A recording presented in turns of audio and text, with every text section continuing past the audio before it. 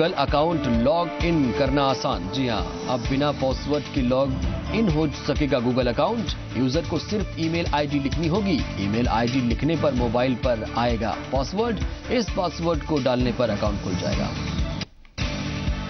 और दूसरी बात पता है कि बिना रजिस्ट्रेशन के मिलेगा मकान हाउसिंग बोर्ड का मकान। रजिस्ट्रेशन के बिल रजिस्ट्रेशन के मिल सकेंगे। अब आपको बता दें, पंद्रह जनवरी के, पंद्रह जनवरी से पंद्रह मार्च तक ये अभियान चलेगा। और दस हज़ार मकान बेचेगा।